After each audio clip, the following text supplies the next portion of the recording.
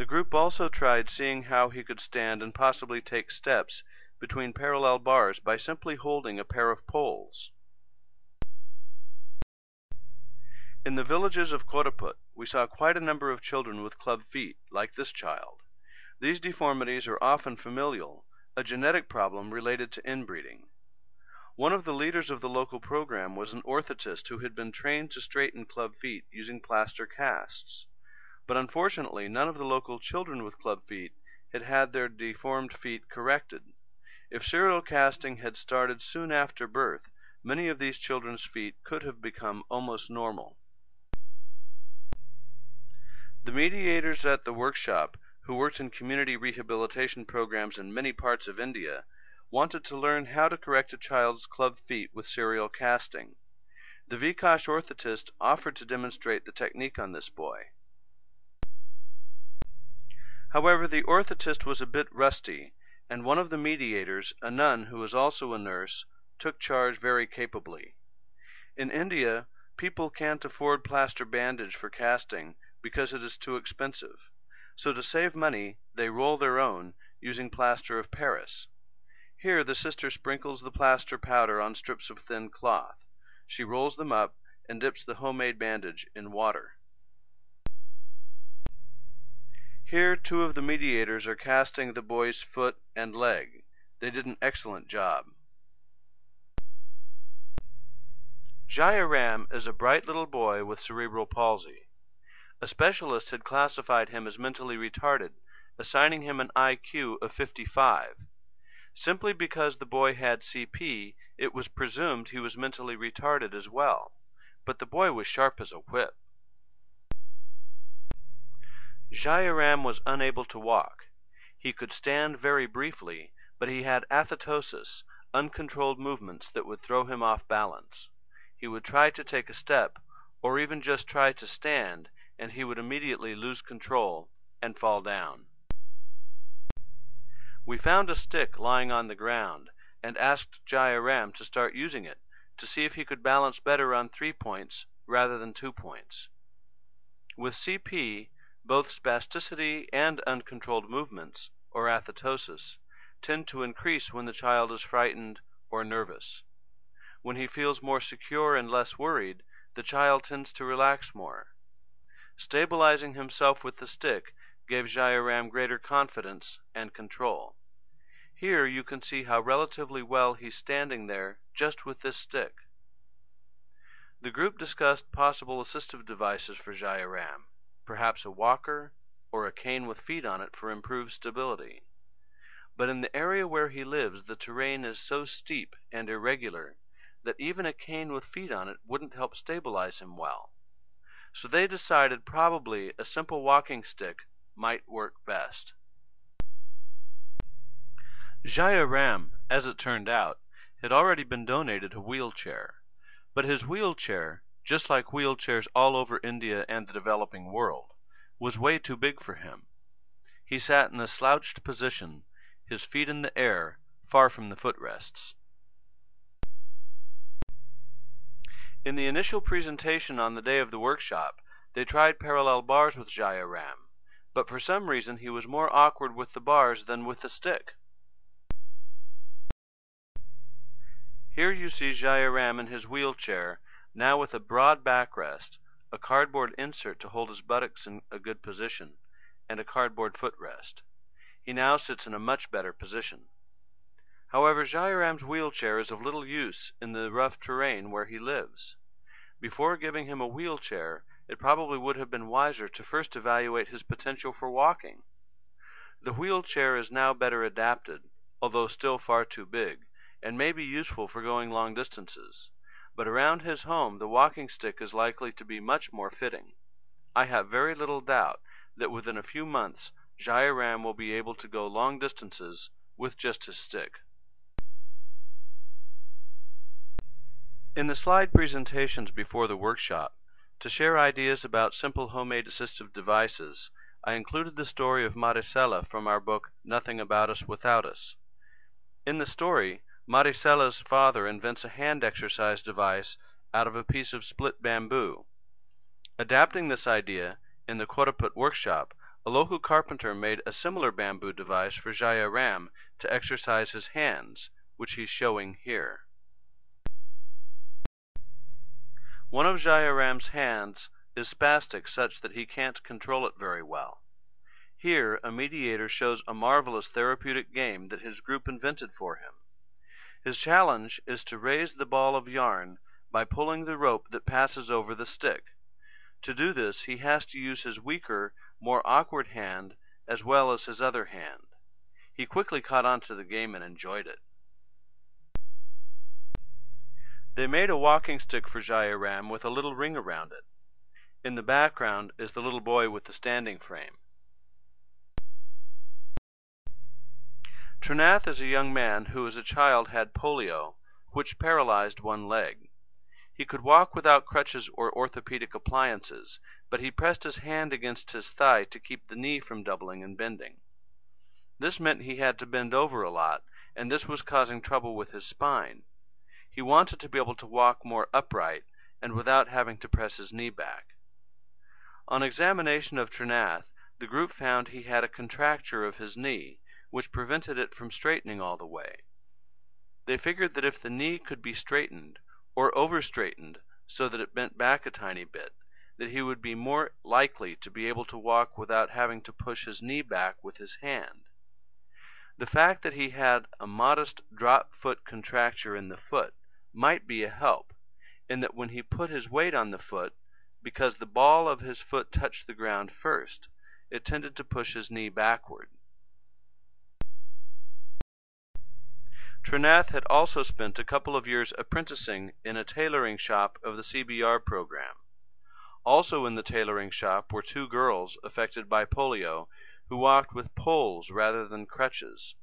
Although they were all being helped to learn skills for income generation, apparently no one in the program had explored ways to help them walk better.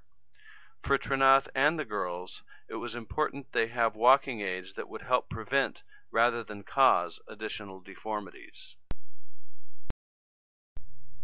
Trinath volunteered to help in the workshop with the idea of learning skills to help others. To improve his walking, he and his group decided to make a night splint that would gradually straighten his knee contracture by putting pressure to straighten the leg all night long. They decided to make the night splint out of bamboo.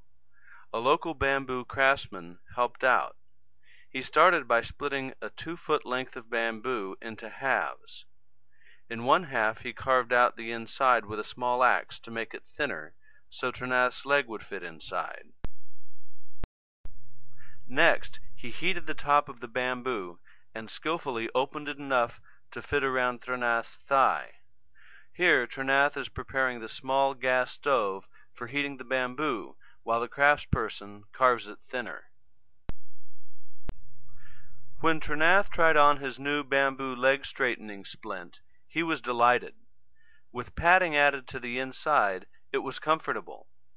Although it was intended for night use, he tried walking on it. To his delight, he found he could walk with it fairly easily without having to put his hand against his thigh. This let him walk in a much more upright position. Though intended for night use only, he began using it for walking during the day. By using it both night and day, it would stretch his knee contracture faster, so that if all works out well, he'll be able to walk without the brace and without having to hold his knee with his hand. In the final closing evaluation session, Trinath and Jairam demonstrate their assistive devices. In this picture you can see the ring on the walking stick just below Jairam's hand. This lets the boy grip the stick more securely. One of the two girls in the tailoring shop who walked with poles was Kamala. Her left leg, paralyzed by polio, is very contracted and much shorter than her other leg. For years she had been walking with a pole, which she held to one side with both hands. This was causing a tremendous spinal curvature. Walking with the pole was causing her a great deal of harm. So Kamala and her group made a pair of simple crutches for her. These helped to straighten her body out, as well as let her walk more easily. Another one of the girls in the tailoring shop was Berarthi, who also walked with a stick.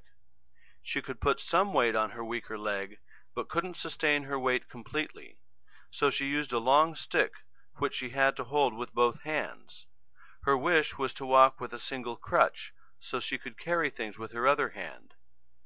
One member of Berarthi's group was the man in the wheel chair you see here, who has spina bifida. In India you don't see many people with spina bifida because most of them die as children because they don't get the spinal surgery they need. This man with spina bifida has become a leader of the local disability association that is struggling for the rights and opportunities of disabled people. He joined the team of mediators and helps out with the local CBR program. I had encouraged him to try to get more members of the local disabled organizations to be involved. Here you see how Berarthi walked with her stick before she got her crutch. Here her group is making an adjustable wooden crutch for her. In contrast to the vast majority of crutches made in India, Berarthi's crutch was measured for the correct shoulder and hand height.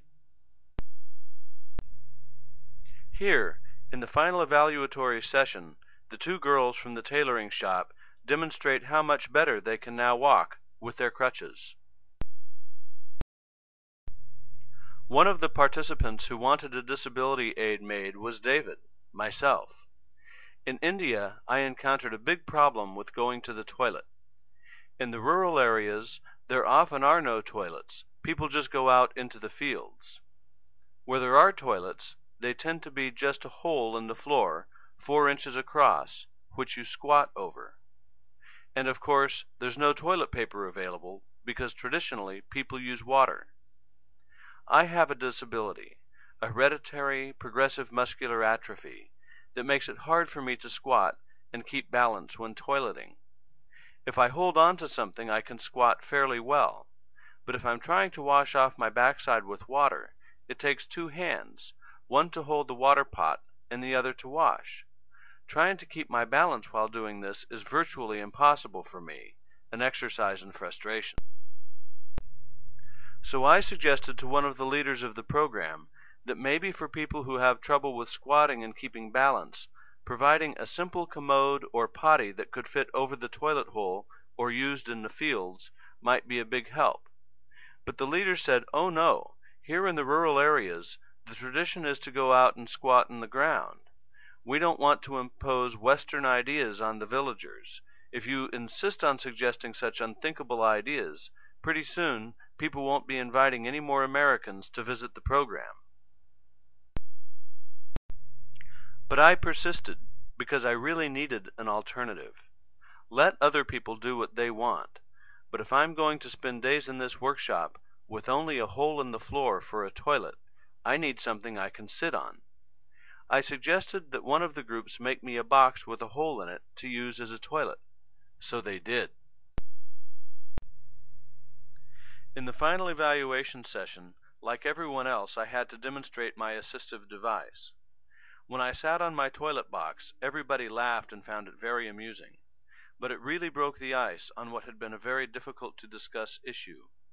After that, all kinds of people who hadn't dared express the difficulties they had with toileting spoke up and began to ask for toilets.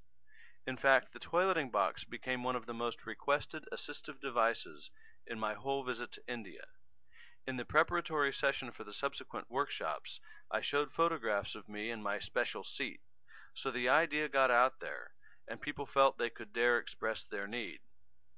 Perhaps one of the best outcomes of the workshop was that disabled persons and their families were beginning to express their own felt needs and to work towards finding solutions on their terms. Workshops for making assistive devices for disabled children, facilitated by David Werner from Mediators of the Liliane Foundation. HealthWrights Work Group for People's Health and Rights. Visit us at healthwrights.org.